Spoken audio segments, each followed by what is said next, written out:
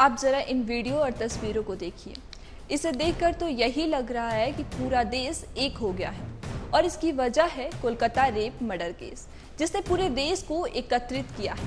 लेकिन कहीं ना कहीं हम ये ज़रूर कहेंगे कि हम शायद एक इंसान के रूप में गलत साबित हो गए हैं।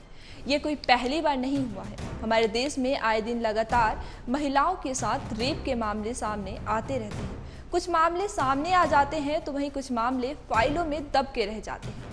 लेकिन कोलकाता रेप मर्डर केस दुनिया के सामने जागरूक हो गया है, जिसे लेकर हर एक गली और नुक्कड़ में प्रदर्शन हो रहा है। मेडिकल के छात्र छात्राएँ लगातार मामले को लेकर इंसाफ की मांग कर रहे हैं। इस मामले को लेकर अब सुप्रीम कोर्ट ने भी दखल दे दी है। बता दें कि सुप्रीम कोर्ट के चीफ जस्टिस ने कहा है कि शांतिपूर्ण तरीके से प्रदर्शन कर रहे लोगों पर किसी भी प्रकार का बल प्रयोग नहीं होगा। मीडिया में कर रहे आलोचना पर भी लोगों पर कार्रवाई नहीं की जाएगी। बता दें कि सुप्रीम कोर्ट के चीफ जस्टिस ने पश्चिम बंगाल सरकार और कोलकाता पुलिस को भी कड़ी फटकार लगाई है। उन्होंने कहा है कि डॉक्टर की सुरक्षा राष्ट्रहित का मामला है। अस्पतालों में सेक्सुअल एब्यूज की कई घटनाएँ हुई हैं। पहले भी स्वास्थ्य कर्मचारियों के साथ ऐसी घटनाएँ घटी हैं।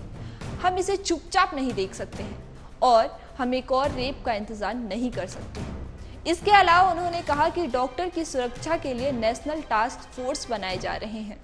कोलकाता रेप केस, मर्डर में chief justice D Y Chandrachud ने कहा कि हमें डॉक्टर की सुरक्षा की चिंता है। हमने देखा है कि अस्पतालों में डॉक्टर के लिए रेस्ट रूम नहीं होता है। ऐसे हालात में डॉक्टर कैसे काम करेंगे?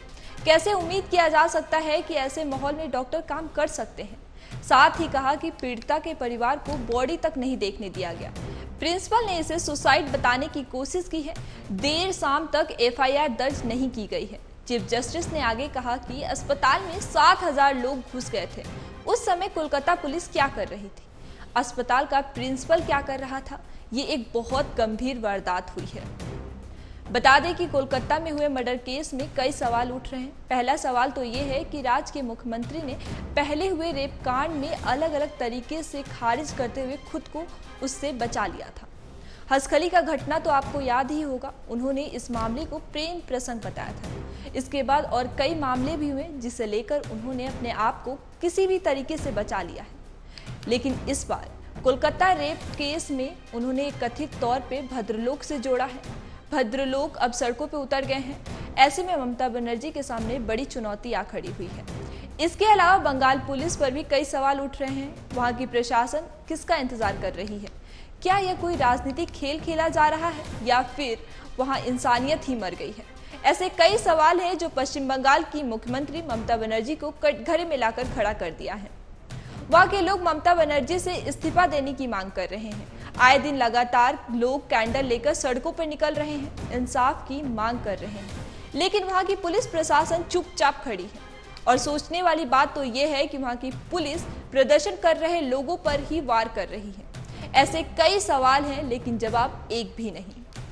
वहीं इस मामले में महिला डॉक्टर की माँ ने बड़ा खुलासा किया है, जिसमें उन्होंने कहा है कि हमले के कुछ दिन पहले ही उनकी बेटी अस्पताल जाने के बारे में अनिच्छा व्यक्त की थी। माँ ने कहा कि वो कहती थी कि उसे अब आरजीआर जाना पसंद नहीं है, लेकिन उन्हें क्या पता था कि उनकी बेटी के साथ कुछ ऐसा हो जाएगा। ये मामले में एक और भी कड़ी जुड़ गई है। बता दें कि इस मामले में निर्भया की माँ ने भी एक बड़ा बयान दिया है। उन्होंने कहा है कि कोलकाता मेडिकल कॉलेज में जब लड़कियाँ सुरक्षित नहीं हैं और उनके साथ ऐसी घटनाएँ हो रही हैं तो ये समझा जा सकता है कि देश में महिलाओं की सुरक्षा की स्थिति क्या है। उन्होंने पश्चिम बंगाल के मुख्यमंत्री पर निशाना साधते हुए कहा कि ममता बनर्जी राज्य की मुखिया हैं।